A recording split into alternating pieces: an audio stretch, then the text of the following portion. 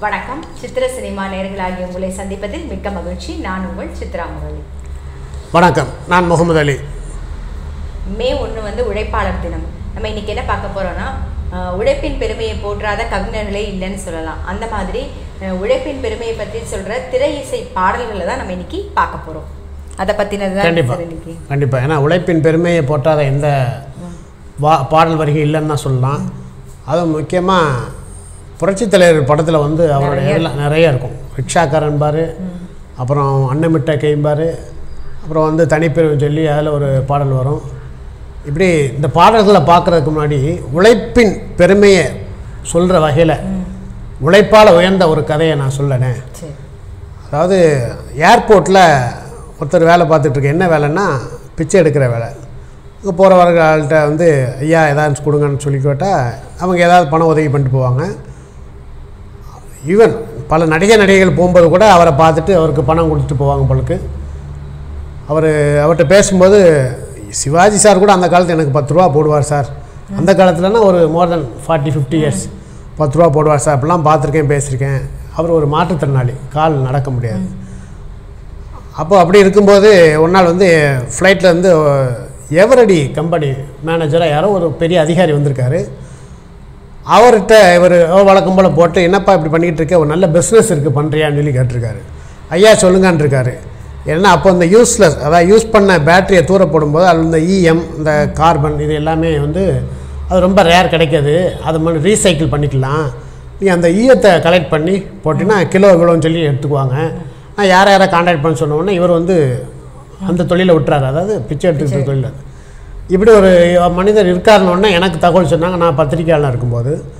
அப்போ அவர்கிட்ட போய் நீங்கள் என்ன பண்ணீங்க சார்? இதுக்கு முன்னாடி கேட்க யோசனை இருந்துச்சு. ஏன்னா இப்போ ஒரு பெரிய தொழிலதிபர் ஆகிட்டார் தொழிலதிபர் ஆகிட்டார் சென்னை அண்ணா நகரில் வந்து அவர் வந்து பங்களா வச்சாச்சு எல்லாம் பண்ணியாச்சு. பங்களா கட்டி பெரிய ஆளாக இருக்கார் அவர். அப்போது வந்துட்டு அந்த பிஸ்னஸ் ஆரம்பிக்கார். அவர்கிட்ட போய் இன்றைக்கி உள்ள நீங்கள் என்ன பண்ண அவர் ஓப்பனாக சொன்னார். நான் பிச்சை எடுத்தேன் சார். ஏர்போர்ட்டில் நான் பிச்சை எடுத்தேன். அதை நான் சொல்ல தயங்கவே இல்லை. ஆனால் உழைச்சா முன்னேறலாங்க ஒருத்தர் எனக்கு வந்து சொல்லி கொடுத்தாரு. நான் வந்து உழைக்க ஆரம்பித்தேன் இன்றைக்கி நான் வந்து பணக்காரன் ஆயிட்டேன் அப்படிங்காரு இப்படி உழைப்பின் மேன்மையை நேரில் கண்ட மனிதராக இருந்தார் அவர். அப்படி அந்த கதையோட சொல்லி அது சம்பந்தமான அது பாடல். சம்மந்தமானதாக நம்ம பாடலை பார்க்க போகிறோம் தனிப்பிறவியில் ஒரு பாடல் வரும். உழைக்கும் கைகளே அப்படின்னு சொல்லி வாத்தியார் பாடுவார். உழைக்கும் அந்த பாட்டில் வந்து முயற்சி தான் வந்து உயர்த்த ஒரு மனுஷனை உயர்த்தணும் அப்படின்னு சொல்லுவார் கூட திருக்குறள் கூட ஒன்று இருக்குது தெய்வ தெய்வத்தால் ஆகாதனினும் முயற்சி தன் மெய்வருக்க கூலி தரும். தெய்வத்தான் ஆகாதனின்னு முயற்சிதன் மெய் மெய்வருத்த கூலி தரும். தெய்வமே முடியாது தெய்வத்தால் முடியாது இல்லை. அதாவது உழைப்பை சொல்கிறக்க வேண்டி வள்ளுவர் அப்படி குறிப்பிட்டு சொல்றார். அப்போ அப்படி அந்த உழைப்பால் உயர்ந்தவர் தான் ஆன் ஆண்டனிங்னு ஒரு அவர் அவரை சொன்னோம்ல அதே மாதிரி. இப்போ இந்த உழைக்கிறது சம்மந்தமாக உள்ள ஒரு பாடல் தான் இப்போ நம்ம பார்க்க போகிறோம் பாடல் வரியில் கேட்போம்.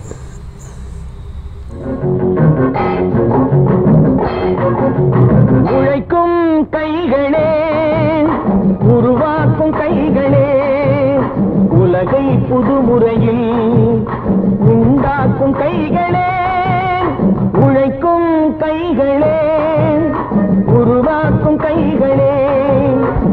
உலகை புதுமுறையில் உண்டாக்கும் கைகளே உண்டாக்கும் கைகளே. நல்ல பாடலை பாட்டோம். பார்த்தோம் எம்ஜிஆர் பாட்டு அப்படின்னாலே வந்து நல்ல உத்வேகமாக இருக்கும் சார். அப்படியே எனர்ஜியாக இருக்கும் எப்பயுமே எம்ஜிஆர் பாட்டு அப்படின்னாலே. இதே மாதிரி அன்னமிட்ட கை அப்படின்னு ஒரு படம் இருக்குது அதில் வந்து அதுவும் அதுலேயும் ஒரு நல்ல பாடல் இருக்குது சார். இப்போ நீங்கள் சொன்னா தான் இப்போ அந்த பா உத்வேகமாக இருக்கும் இல்லைங்களா? அதில் ஒரு சீன் வரும் பார்ப்போமே. நிற்கவே மாட்டார். அந்த பாட்டு முழுக்க ஓடிக்கிட்டே இருப்பார். அங்கே போட்டு அங்கே போட்டு இதை எடுத்து அங்கே அடிச்சிருப்பாரு இங்கே அடிச்சிருப்பாரு. நல்ல சுறுசுறுப்பாக இருக்கு சுரசு ஆமாம் நிற்கவே மாட்டார். அதாவது அந்த சாங் ரைட்டு சினிமான்லாம் நினைக்கல அவர். ஏதோ ரியல் ஆன மாதிரி இங்கே குளிப்பார் அங்கே ஓடுவார் பாய்வார் எல்லாம் பண்ணிட்டு வந்துட்டு மனோரமாக ரெண்டு தட்டு தட்டு விட்டுட்டு ஓடுவார். ரொம்ப இன்ட்ரெஸ்டிங்காக உள்ள சீன் அது. அதுமாரி அன்னமிட்ட கை சொன்னீங்கல்ல. பாடுபட்ட கை பாட்டாளி கைன்னு கை கைன்னு வருமே ஆமாம் அதில் அதில் இன்னொரு வார்த்தை வரும். முன்னேற என்ன வேண்டும்? நல் எண்ணம் வேண்டும். அப்படிம்பார். அது கரெக்ட் தானே? ஆமாம் அதாவது நல்ல எண்ணம் வேண்டும். முன்னேறணுங்கிற ஒரு நல்ல எண்ணம் இருந்தால் தான் நீ வாழ்க்கையில் முன்னேற முடியும்பா. இல்லைன்னா இப்போ உள்ள சோம்பறிகளுக்கு எல்லாம் தெரியணும். ஆமாம் அந்த வரியில் மட்டும் கேட்போம் நேர என்ன வேண்டும்? நல் எண்ணம் வேண்டும். தன் உழைப்பாலே உண்ண வேண்டும். இல்லாமை நீக்க வேண்டும். தொழிலாக்கம் வேண்டும். இப்பயும் எம்ஜிஆர் பாட்டு தான் பார்த்தோம். இப்போ இன்னொன்னும் ஞாபகம் தான் சார் வருது. ரிக்ஷாக்காரன் படம். அவன் ரிக்ஷாக்காரன். ரிக்ஷாக்காரனே மாறியிருப்பார். ஆமா. அந்த படத்தில் அவருக்கு சிறந்த நடிகருக்குள்ள விருது கிடைச்சிது அவருக்கு. அப்போது அதில் ஒரு சின்ன தகவல் சொ இருக்கா? எல்லாம் செவி வழி செய்தி தான் ரிக்ஷாக்காரன் படம் பண்ணும்போது அவர் ஃபீல் பண்ணியிருக்காரு. ரிக்ஷாக்காரன் எவ்வளோ சிரமம். கஷ்டம் அப்படின்னு சொல்லிட்டு.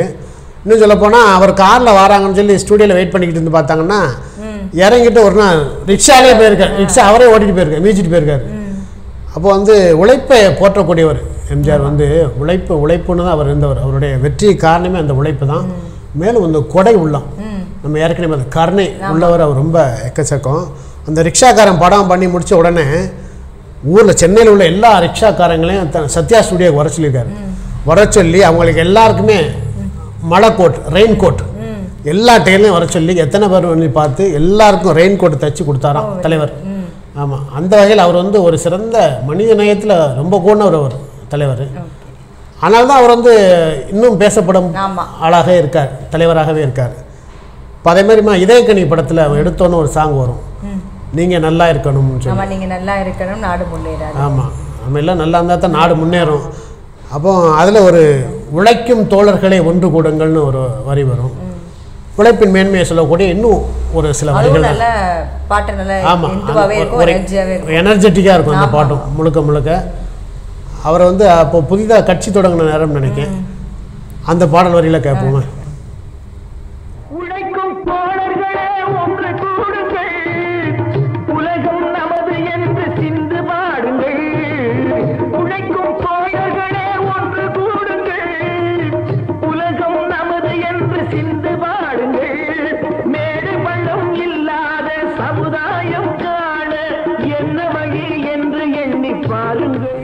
இன்னைக்கு பார்த்த பாடல் எல்லாமே வந்து ரொம்ப எனர்ஜெட்டிக்காக இருந்தது சார் எம்ஜிஆர் பாடல் எல்லாமே ரொம்ப நல்லா இருந்தது. உழைப் உழைக்கிறவங்களுடைய பெருமையை சொல்கிற மாதிரி பாடல்கள் எல்லாமே இருந்தது. இதை கேட்டுட்டு உழைக்காதவங்க கூட கண்டிப்பாக வந்து வேலை செய்யணும் அப்படின்னு நினைப்பாங்க. கண்டிப்பாக. ஏன்னா அவருடைய பாடல்கள் வந்து அதாவது கொள்கை பாடல்ங்கிறது வேற. ஒரு எனர்ஜெட்டிக்காக இருக்கும் எல்லாமே. எதுவுமே வந்து முயற்சி பண்ணா கண்டிப்பா சக்சஸ் உண்டு. Success அவ்வளவுதான். ஆகும் அது தெரிஞ்சுட்டு எல்லாரும் வேலை செய்யணும். ஆமாம் எல்லாம் தெரிஞ்சுட்டு வேலை செய்யுங்க. ஓகே. இன்னைக்கு வந்து இன்னைக்கு பார்த்த பாடல் உங்க எல்லாருக்குமே ரொம்ப பிடிச்சிருக்கும். லைக் பண்ணுங்க கமெண்ட் பண்ணுங்க. மறக்காம சித்திர சினிமாவை சப்ஸ்கிரைப் பண்ணுங்க. அது மட்டும் இல்ல உங்க ஃப்ரெண்ட்ஸ்க்கும் ஷேர் பண்ணுங்க. நாங்க அடுத்த எபிசோட்ல சந்திக்கிறோம். அதுவரை நன்றி வணக்கம். வணக்கம்.